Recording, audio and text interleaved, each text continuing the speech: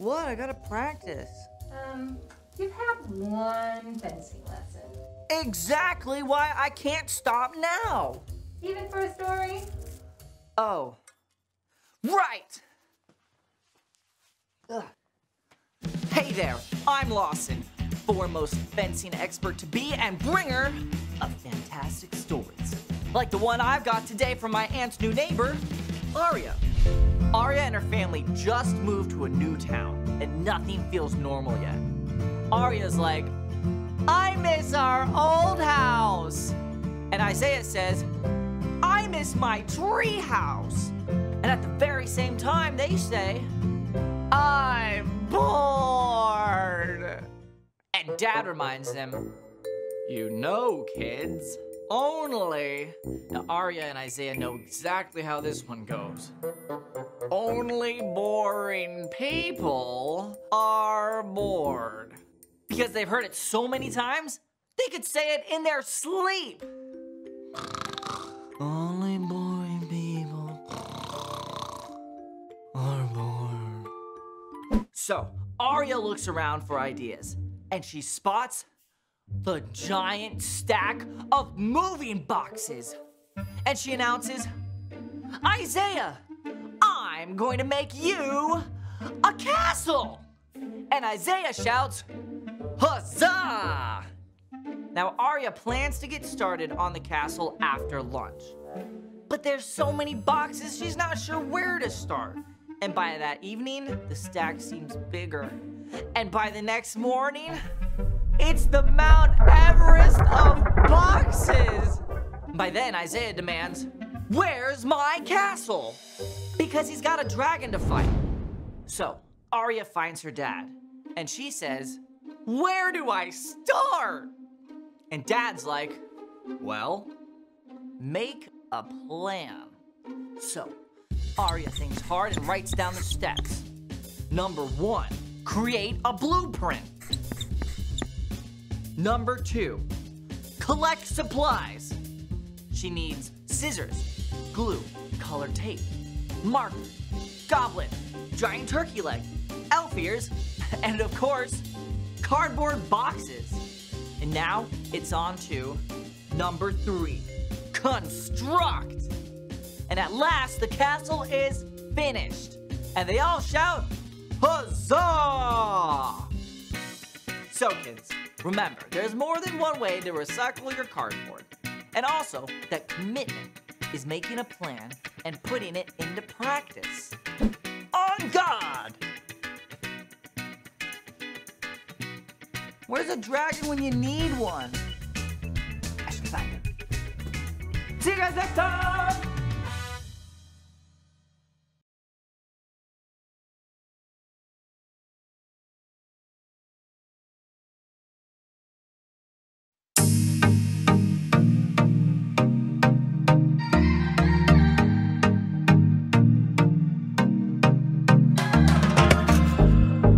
Plans for me good.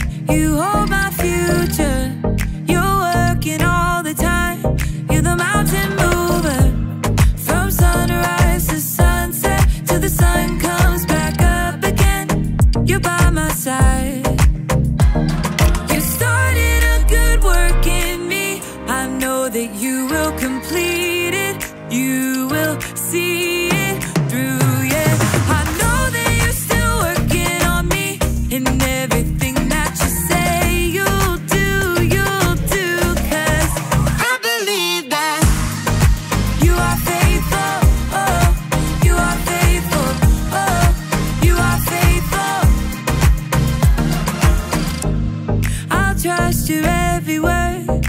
Cause I believe that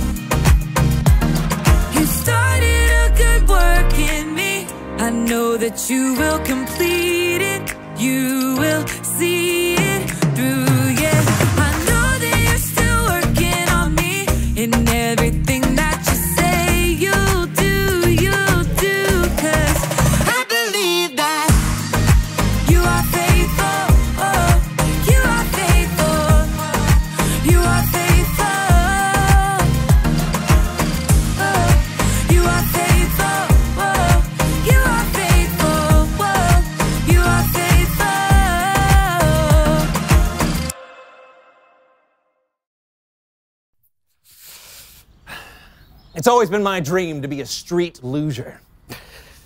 Going down steep inclines at incredible speeds while lying on my back, feeling the wind in my back. And today is the day that dream comes true. Nothing is gonna get in my way. Mm. Oh, I forgot my helmet! No! Oh! Ah! John! Oh, oh, Brandon! Brandon, thank you for rescuing me. I can't do it. I'm so scared. I can't be a street luger. Well, if it's any consolation, John, you'll always be a loser to me. Thank you.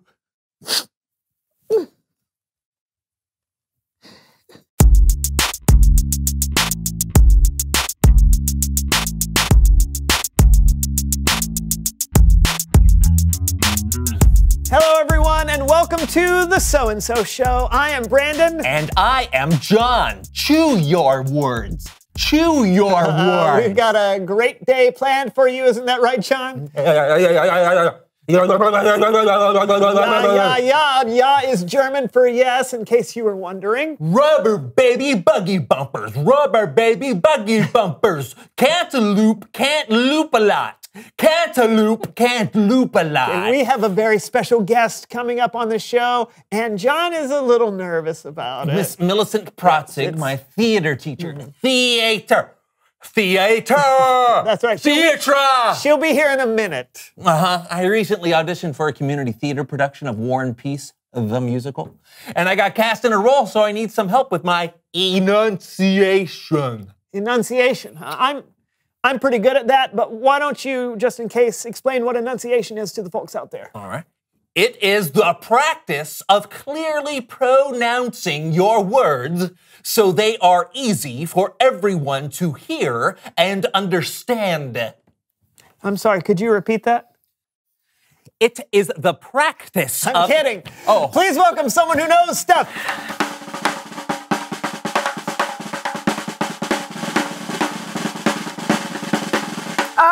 I have arrived. Uh, come on in and have a seat. Nonsense! When you sit, you lose all of your energy. Everyone stand! Hello, Ms. Protzig. Jonathan, it is so good to see you. I hear you need help with your enunciation. he sure does. what was that? I, I was just saying that, that he sure. Uh, uh, dear boy, I cannot understand a word that you're saying. I, I do need help with enunciation, Ms. Protzig. It appears that you're not the only one. Wait, are you referring to me? no idea what you're saying. No, I just. G- Shh! Prattle no longer, my weak-lipped friend. It is time to play the ancient theater game known as Spittle Spattle. Spittle spattle. This exercise will allow you to let your salivary glands and your vocal folds go. Salivary glands? I will give you a phrase to say. You will take a sip of water and then proceed to say the phrase as distinctly as possible. Why? What did he say? He said, why? Well, every good stage actor knows that the more you spit when you speak, the more clearly understood you will be. Oh. Again, no clue. I just said, oh. Let us begin. Take a sip. And repeat after me. Bombastic prepositions. Prepositions. Bombastic. Bombastic. Prepositions. Again, oh, again.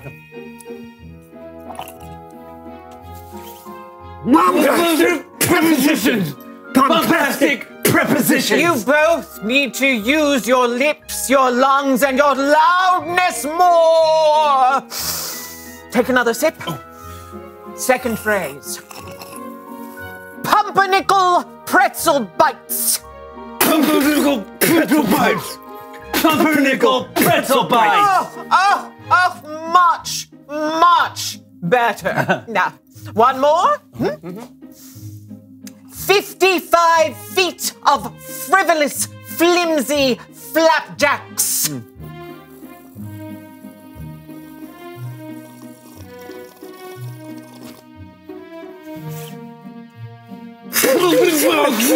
of frivolous, flimsy flapjacks. 55 feet of frivolous, flimsy flapjacks. Wonderful, wonderful, wonderful. Now, let's see who won. Oh. How can you tell? Just let her do her thing. Well, clearly, Jonathan is the more advanced expectorator. Oh, wow. Uh, thanks, Miss Protzig. He's what? What? Come on! I'm the best spitter. Indeed, you are. You are fully prepared for your upcoming production.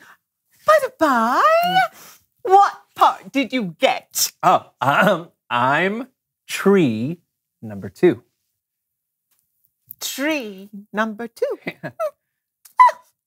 you know, as I say, there are no small parts, only I exit stage right. Oh.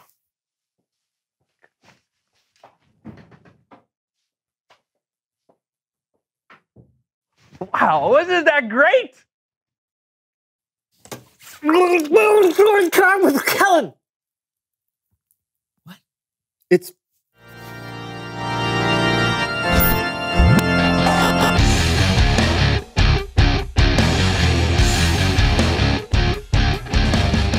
What is up? Kellen. Kellen.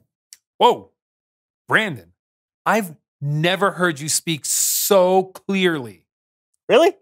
Chalk it up to the genius of Miss Protzig. What have you got for us, Kellen? Man, I mean, really clear. Anyway, today we're talking about a very important practice that everyone needs to learn. I'm talking about prayer. When it comes to praying, Jesus set a great example for us. He never missed an opportunity to spend time alone with his heavenly Father. Jesus even taught his disciples how to pray. Today, we call that the Lord's Prayer. What is. Oh no. Glad you came. Glad you're here. I know it's getting late, but never fear. We'll give a blow by blow of the Bible story on the Melv Solomon story recap. So glad to have you back on my show.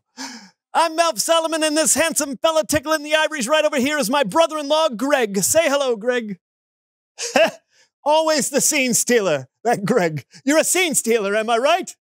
How could he not be with that handsome mug? Hey, Melv. Yeah, Kellen, what's going on, me compadre? Uh, just trying to teach everyone about the Lord's Prayer. Lord's Prayer.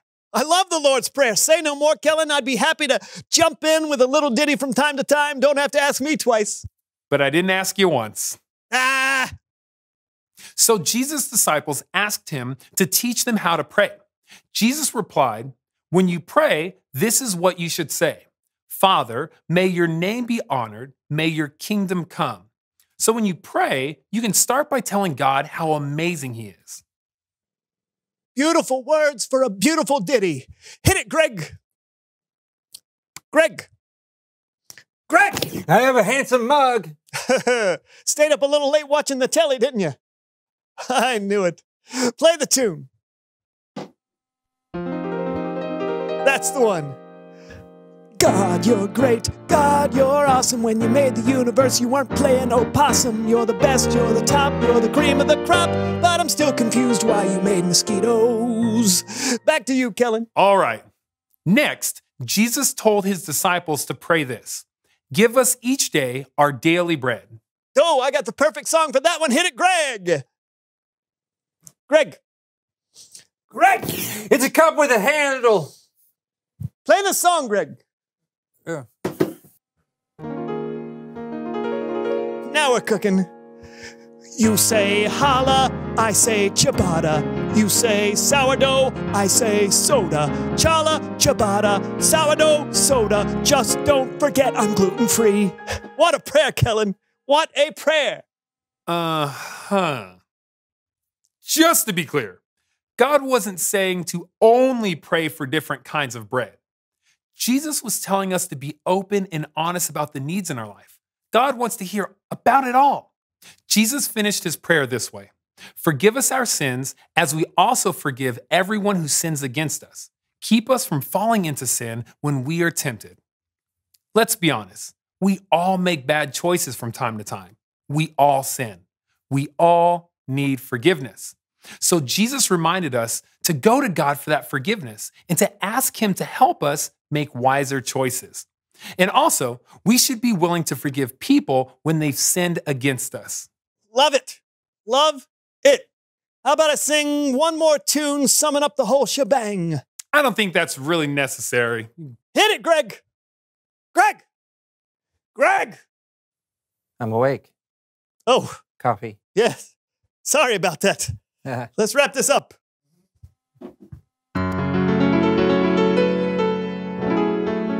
Atta baby. Who's awesome? You are. Who gives me what I need? You do. Who forgives me? That's you, cause it's just what you do. Remind me to love people how you've shown you love me. Who feels better? That's me, cause I talk to you. I'm not gonna lie, that was lovely. I know. Let's hear that whole prayer one more time. Father, may your name be honored. May your kingdom come. Give us each day our daily bread. Forgive us our sins as we also forgive everyone who sins against us. Keep us from falling into sin when we are tempted. That's beautiful, Kellen. Hey, Greg, how about I take you out for a fresh loaf of bread to go with that mug of Joe? Huh? All right, catch you later, Kellen. Bye, Mel. I'm Mel. outie. I didn't mean right now, Greg. Meant after the show. So, what'd you guys think of the Lord's Prayer? I think it's great. I've already got it memorized. Ready? Father, may your name be honored. May your kingdom come. Sounds great, but you know, you don't have to say it all proper like that. God will totally understand even if you don't pronounce each word perfectly. You don't even have to use the exact words Jesus used. So we don't just recite this prayer? Oh, uh, well, you can if you want, but you can totally pray it in your own words too. We can tell God He's awesome, ask for Him to provide for our needs, ask for forgiveness when we mess up, and tell Him everything we need help with. It's important to speak from the heart. I just think that it's amazing that the creator of the universe actually loves to hear from us. You're right about that. Hey, thanks for the story, Kellen. Ah, no problem. It's what I do. I'll see you guys. I'm glad we learned how to pray today. I'm going to need all the help I can get to play the pivotal role of tree number two, right? Red leather, yellow leather, red leather, yellow Well, your leather, red leather, enunciation is gonna be red great. leather, Hey, what are your red lines leather, anyway? yellow leather. I, I don't have any lines. I'm a tree. Yoda met Yeti on the plains of Serengeti. Yoda you- met Yeti on the plains of Serengeti. Yoda met Yeti. on the- Reveal the question. Oh, how do you pray to God? Do you sing or whisper? Do you pray in your head or pronounce everything with perfect enunciation and spizzle? Do you pray inside or outside, in the dark or upside down in a tree? However you pray, talk about it with each other. Yeah, hey, hey, learn something from each other. And we'll see you next time on the, The So and So Show. The So and So and So. So Show. Am I saying that right? Yes. The So and chew your words. Chew The your So and So Show. No problem, coffee, coffee man.